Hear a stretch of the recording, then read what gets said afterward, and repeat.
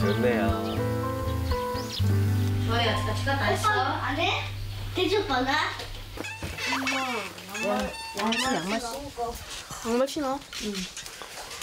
애들 또 학교 보내야 되니까. 네, 아침에. 아침마다 그냥. 네, 7시에 일어나야 돼. 큰애 몇, 몇 학년이에요? 다 3학년, 저는 아달은 2학년. 아우 한참 손이 많이 갈 나이. 네. 그 밤을 하지 마 그냥 자꾸 밤만 네 머리카락 자꾸 이렇게 잖아 이렇게 남편이랑 똑같이 생겼다. 깜빡 닮았어.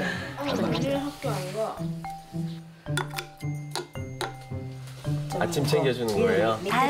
아이고. 원래 김치 안 먹어가지고. 김치를 안 먹어? 네, 그러니까 이렇게 잘게 잘라야 돼요. 네. 다 떠먹여주네 아직까지. 아니 애들은 너무 좋아하겠어요. 저렇게 하나하나 일일이 챙겨주니까. 맞아 맞아. 정우 엄마다.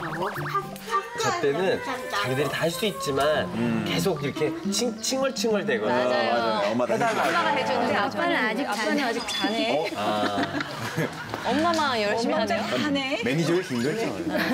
아니? 2천 원씩 돼. 안 돼. 애들이 굉장히 밝아요. 근데 요즘 떡볶이 같은 거 너무 비싸니까. 아침마다 이렇게 돈 주세요? 아침마다 일주일에 세번 주는데 천 원씩 많이 해놓고 자꾸 쓸데없는 궁궐길에서가 천 원씩만 줘.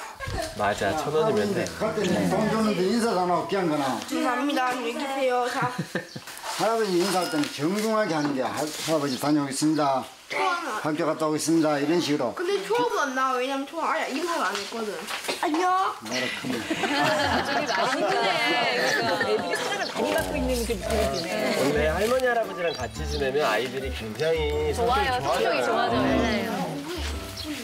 구김살이 하나도 없네. 그럼 딱 달리 예절 교육이야. 할머니 할아버지가 다 해주는 거야.